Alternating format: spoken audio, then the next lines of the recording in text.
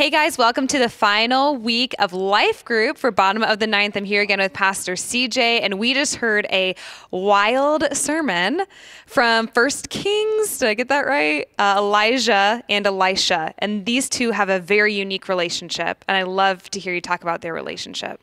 Yeah, I love it. You know, they're both, well, they find themselves relating or connecting in a very unique season. You know, one, Elijah, the, the prophet, the established man of God, is coming off of a pretty tough season where we actually find him depressed, on the run, even suicidal. Mm. And then we see him uh, coming across Elisha, who is kind of doing some hard work. He's overlooked. In fact, he's at the back of the line in, in what he's doing. And what is amazing to me about this story is Elijah believes in Elisha. He sees potential and he sees promise in this young man who's blooming where he's planted.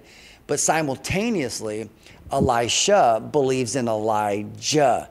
And there's something about this burnt out prophet that is reinvigorated by this young man who says, Hey, I'd follow you, trust you, and I believe in you. Mm-hmm. And I think every single one of us at times can relate to being both Elijah and Elisha, where we all need someone to believe in us.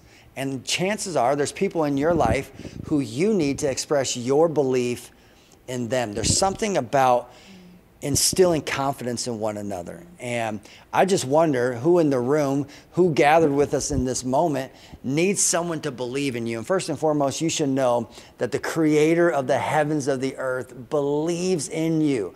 I mean, come on, Jesus left perfection for our potential. That's how much he believes in us. Mm-hmm. And simultaneously, every person gathered with us has people in their lives. Chances are many of you, maybe it's a family member, a coworker, a child, whoever it may be, that if you were to instill confidence and let them know you believe in them, it might accelerate something in their life and they may go on to accomplish great things all because they had someone like you in their corner believing in them. And I just I love that about their story. Yeah, it, it really reminds me of just the season that you've been in with Pastor Steve, of just the parallels between those two relationships. So, how has that, what has that meant in your life, the relationship that you have with Steve? Yeah, I think it's pretty easy to believe in Steve. Uh, it's pretty astonishing that he believes in me.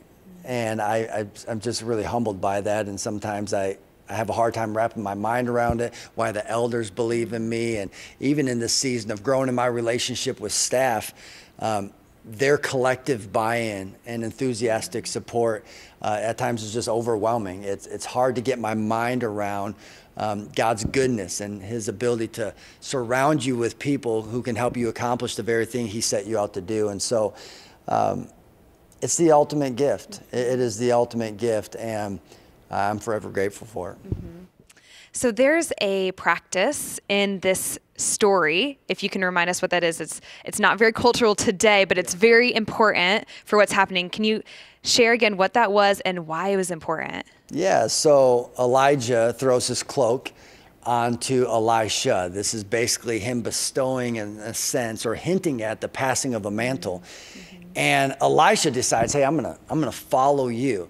And what's amazing is it says he burns his plows, mm. which was, I mean, his employment, his, his, you know, security and livelihood.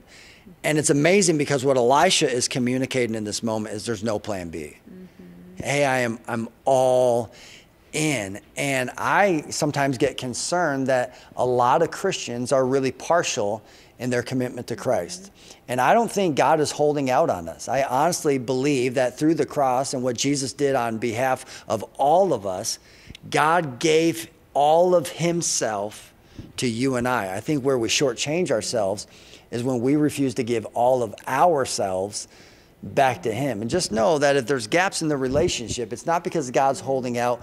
Chances are it's because you're holding out. And I find we miss out when we hold out. And so maybe in this season, you need to burn the plows and maybe you need to stop waffling in your commitment and being so partial and go all in for a God who went all in for you. And I love this idea of burning the plows, no mm-hmm. turning back. It kind of reminds me of the, the old hymn. Like, I have decided mm. to follow Jesus, no turning back, no turning back. And I pray that becomes an anthem and a truth over every single one of your lives. Mm-hmm. Yeah. I like what you said that the Lord is like never going to leave us. Like he is giving all of himself. Um, but I think back to the story of there's a whole season of like obscurity yeah. for them, years of it, in fact. And I think it's in those seasons where it can you can kind of feel abandoned or like God's withholding or something. So what what's important, I guess, about that season of obs- obscurity and um, how yeah how do we know that God hasn't actually left us? You know, most times when we read the passage, most people don't factor in the timeline. So when Elisha, you know, chooses to follow Elijah, well, the next time they arrive on the scene, it's eight years later. Mm-hmm. So for eight years, they go off the radar. And I am convinced, and tuck this away and maybe, you know, reflect on your own life and how this has been true or may be currently true or going to become true in your life. And that is divine opportunities are almost always preceded with seasons of obscurity.